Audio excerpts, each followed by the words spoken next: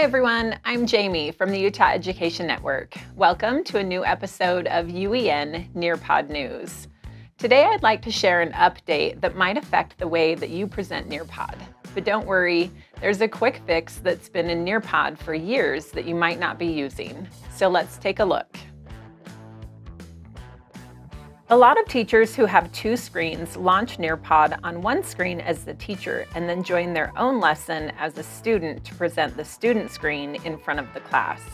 In a recent update, if you join your own lesson as a student in the same browser that you're using as a teacher, you will kick all of your students out of the lesson.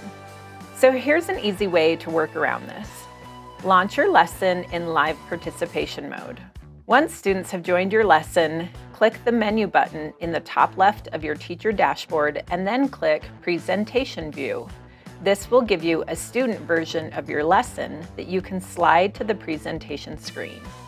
Now, on the teacher screen, you can still track student learning while mirroring what students see front of class.